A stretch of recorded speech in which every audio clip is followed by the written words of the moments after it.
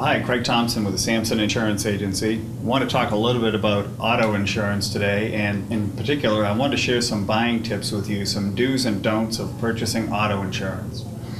First of all, the policy itself is portable in nature. That is, it covers you in the United States territories, possessions, in Canada. If you're renting a car outside of that territory, your Massachusetts auto policy has essentially left you at the border. And in future videos, I'm going to talk a little bit about how you can extend some uh, liability through something called an umbrella policy. But today I want to emphasize that again, it covers you in the United States territories, possessions, in Canada. So if you're renting a car outside of that territory, stay tuned. We have some more information for you in the future. As far as your coverage goes, everything that is on your policy in Massachusetts will follow you when you rent a car. So when you go to the rental counter, when you're checking out to, to get a rental car, a lot of times they'll ask you if you want the, uh, the collision damage waiver, the CDW, or the CWD. And it's really not necessary because, again, all, the, all your coverages follow you. The only advantage in purchasing the collision damage waiver is, well, there are twofold. Number one is that the rental contract stipulates that if you rack up the rental car and the car is in the shop and incapacitated, the rental agency has the ability to tag your, your credit card every day for the loss of use of that vehicle. There's no coverage back home in your auto policy for that, so that's something to consider this loss of use exposure. The other thing that some of the rental car companies will do is they'll ask you to replace it, the car that you're in, with a brand new car. Now, as you all know, as soon as you drive out of the lot, the car's value depreciates. For the contract to stipulate that to, to, that you need to buy them a brand new car, your Massachusetts auto policy isn't going to pay that. They're going to it's going to pay the depreciated price. So those are really two reasons why you may want to consider buying the collision damage waiver.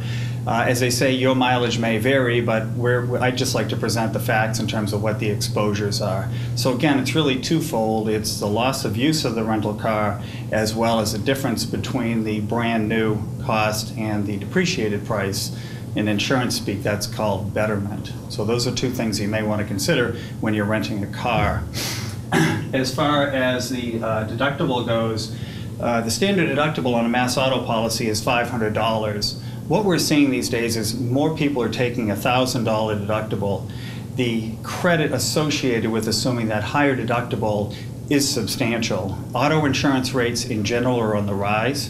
And particularly if your car is older, it has higher, higher mileage, you may want to consider raising that deductible. In some cases, it can save a couple hundred dollars a year. Keep in mind that the deductible doesn't apply that is, the insurance company will pay you in full if you're not at fault in the accident and you can identify the other party. So it's something to consider, particularly, like I said, if your car is getting on in miles or you've got a young driver that you've uh, recently added onto your policy because that can be an expensive event.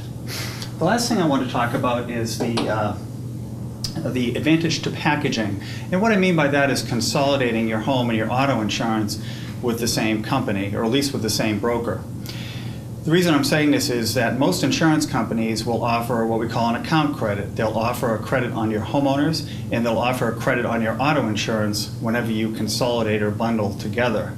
So there are premium savings, but there's also some coverage synergies. There are some scenarios where your car is stolen and you have personal property in it, you've got a home and an auto insurance claim. It may not happen that often, but it's something uh, that uh, there's a certain value added by consolidating and having one insurance company handle all that.